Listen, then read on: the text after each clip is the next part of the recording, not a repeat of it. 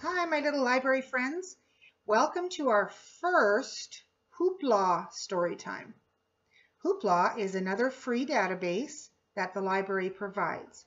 And on the next screen, I will give instructions to the adult that's with you so they can download the Hoopla app and find the story. Today's story is called Little Bear's First Christmas. The animals in the forest are getting ready for Christmas. But Mama Bear tells Little Bear that they can't celebrate Christmas because they hibernate. And hibernate means that they will sleep all winter long. So the little animals in the forest decide to surprise Little Bear. But you'll have to read the story to find out what happens. So you enjoy the story and I'll be waiting for you here and we'll make a Christmas decoration together. Enjoy the story.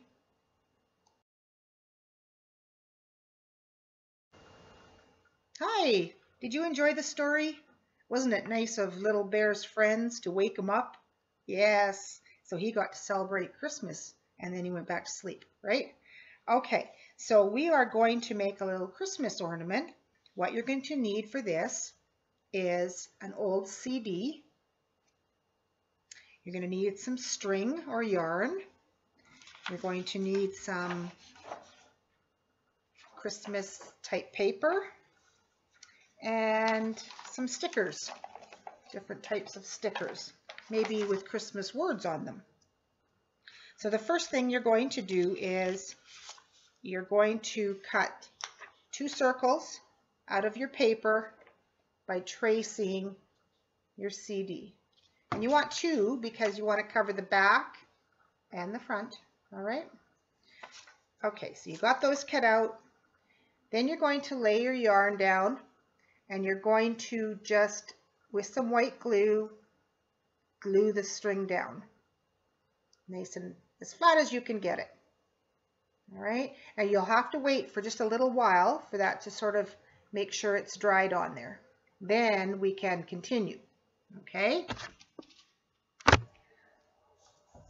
So what we're going to do is we're going to put glue.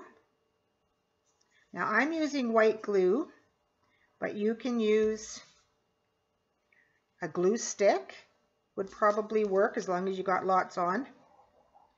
And you're going to put your glue all over, especially around the edges. Okay, and a little bit on the string that you already put down.